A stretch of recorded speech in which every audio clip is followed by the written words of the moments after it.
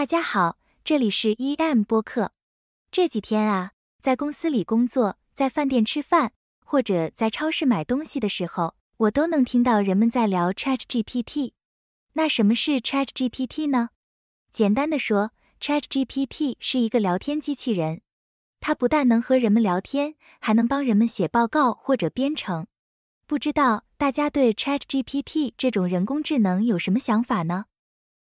主持人你好，这位先生你好，请问你做什么工作？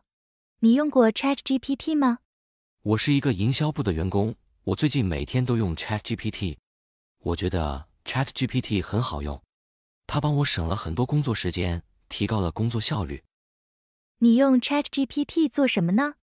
因为我常常要写营销计划，ChatGPT 可以帮我很快的写完这些报告。它还可以给我一些特别好的营销想法。听起来对你来说，ChatGPT 很有用啊。那你会不会担心有了人工智能以后你会失业？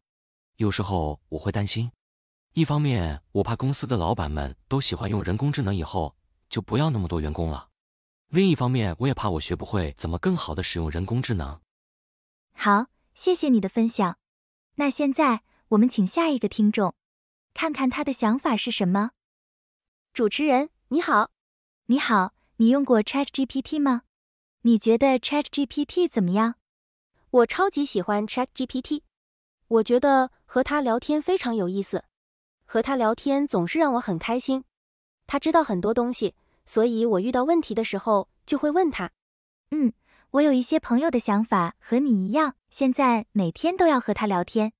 那你做什么工作？你会担心人工智能取代你的工作吗？我是个瑜伽老师，我不担心人工智能会取代我，因为虽然现在很多人在家看视频做瑜伽，但是还是有更多的人喜欢去瑜伽室和老师一起做。很多学生其实更喜欢瑜伽室的环境。你觉得以后人工智能会让工作机会变少吗？我觉得虽然人工智能会取代一些工作，但是也会有一些新的工作机会，比如。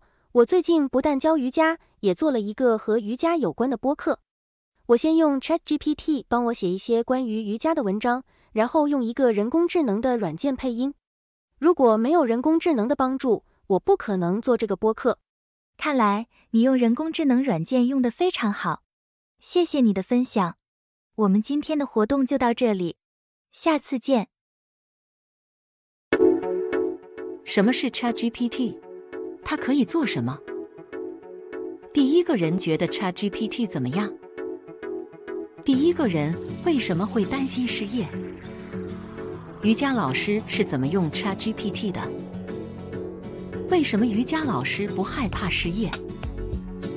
瑜伽老师觉得人工智能会不会让工作机会变少？为什么？